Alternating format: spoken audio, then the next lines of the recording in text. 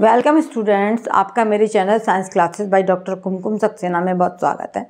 और आज हम आपको बताने जा रहे हैं चैप्टर ट्वेल्व जो है क्लास नाइन्थ का, ऊर्जा और शक्ति बता दिया मैंने आपको। अब ऊर्जा के बारे में, ऊर्जा क्या है और शक्ति क्या है, वर्क क्या है, पिछले मैंने जो भी आपको टीचिंग्स दी हैं, उसमें ये सब बताया आपको। अब आज मैं बताऊँगी आपको ऊर्जा संरक्षण का नियम।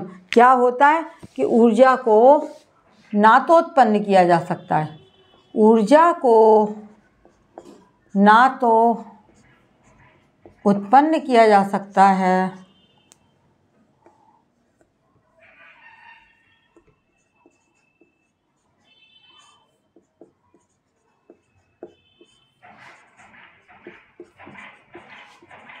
और ना ही, और ना ही नष्ट किया जा सकता है। ना ही नष्ट किया जा सकता है। पूरे ब्रह्मांड में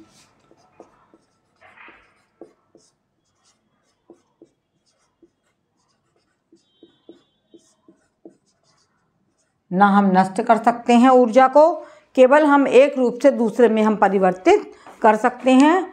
ना नष्ट कर सकते हैं ना हम उत्पन्न कर सकते हैं, केवल ऊर्जा के एक रूप को दूसरे रूप में हम परिवर्तित कर सकते हैं। इसको हम कहते हैं ऊर्जा संरक्षण का नियम ठीक है?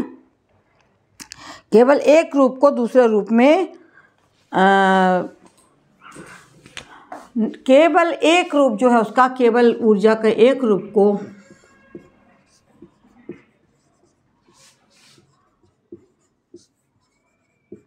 दूसरे रूप में परिवर्तित किया जा सकता है।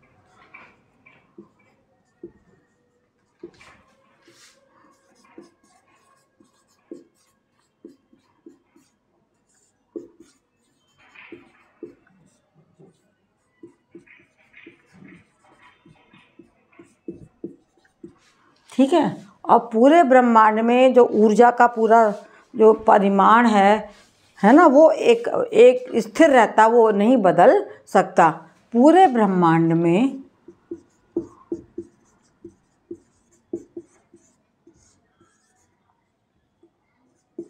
कुल ऊर्जा अपरिवर्तित रहती है, अपरिवर्तित होती है। कुल ऊर्जा अपरिवर्तित भी नहीं निश्चित होती है। निश्चित होती है। इसका परिणाम, इसका परिमाण स्थिर होता है। अभी मैं समझाती हूँ आपको। है ना? ये ऊर्जा संरक्षण का नियम क्या है? ऊर्जा जो है संरक्षित रहती है। केवल इसके एक रूप को दूसरे रूप में बदल सकते हैं।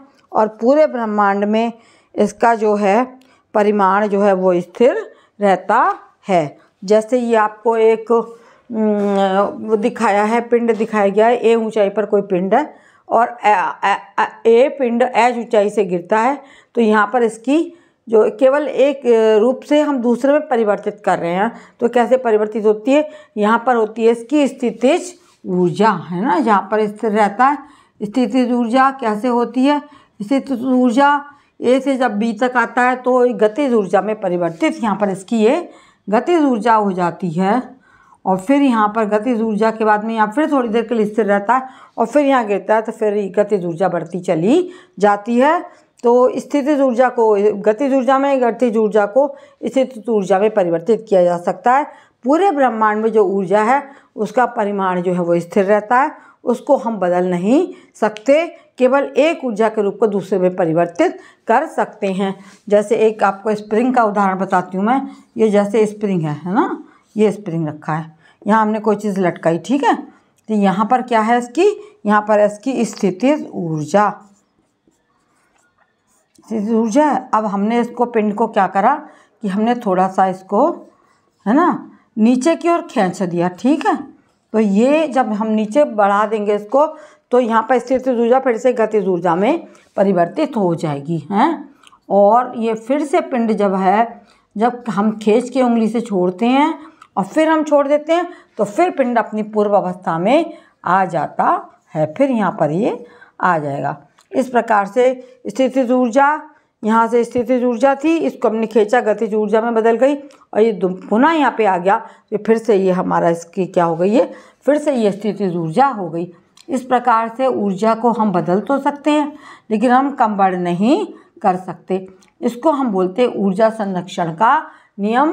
ब्रह्मांड में कुल ऊर्जा जो है वो निश्चित रहती है।